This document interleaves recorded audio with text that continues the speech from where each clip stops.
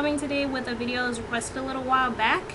It's about self-publishing, which is what my weekly article today is about on my website. I update my website every Tuesday. You should always check me out. http colon slash slash naturallyknowledgeable.webs.com forward slash. And I'm always looking for more viewers, so if anyone would like to be interviewed, if you have some word that you'd like to get out, um, I am running interviews and things like that now, so you know, comment below or send me a little message, something like that, and we'll work something out.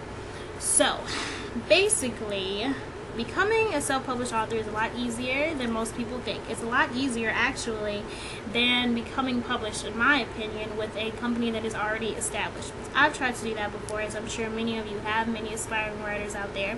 I actually sent my manuscript that I had written when I was pretty young, very proud of, to a publishing company and they kept it for a really long time and I finally called them and I was like y'all where's where's my manuscript?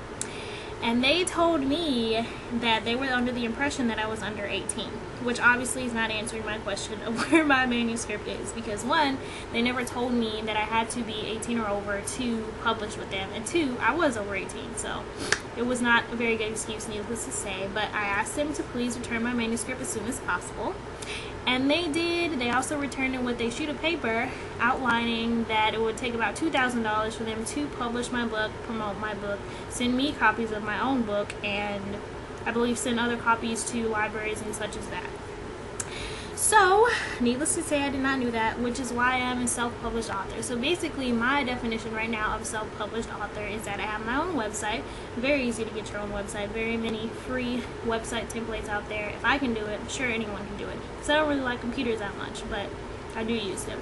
So you can get your own website, and I actually type up my manuscripts, edit them thoroughly, and then publish them in a PDF format, which is also very easy to do as well.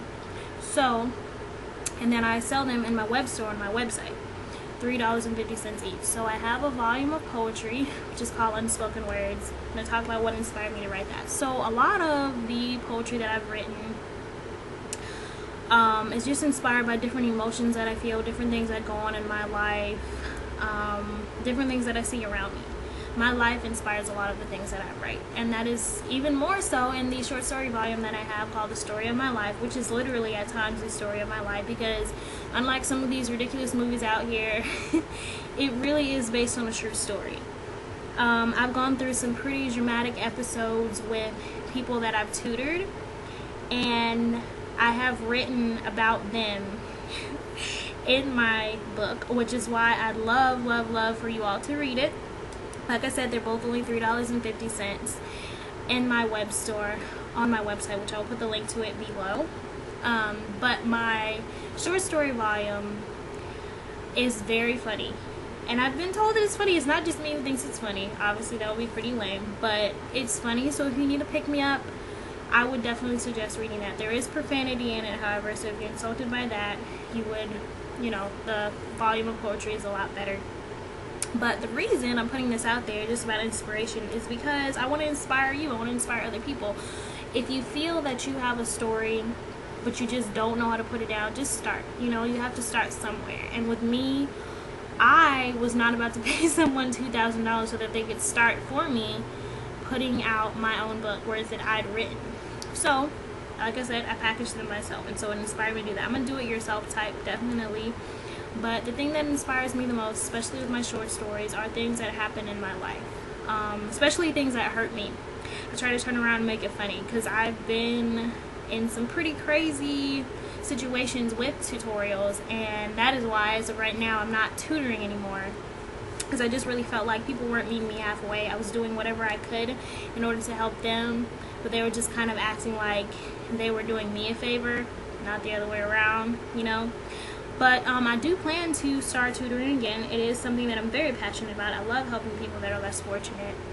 But I'm not going to keep, you know, working in certain situations where I find myself getting screwed over again and again and again and again. So I decided to write about it. And I would encourage all of you to contact me about it. If there's something that I can do, we can do an exchange. Because I really want people to read my work. We can do an exchange for something that you have for my book or you can buy it let me know Let me know if you're an author too and would like to be featured on my site because I'm always looking for people to interview because I love telling other people's stories too and getting the word out about what they do.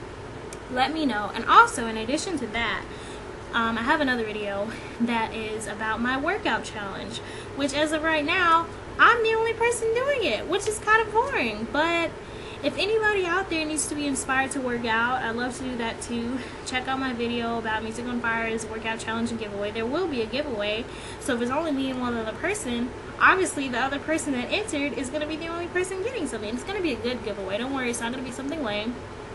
But that's about it. So those are the things that inspired me. It's a little update on my little giveaway and workout challenge that's about all. If y'all have any suggestions or concerns or comments for me, let me know. Pretty open-minded. Thanks. See y'all later.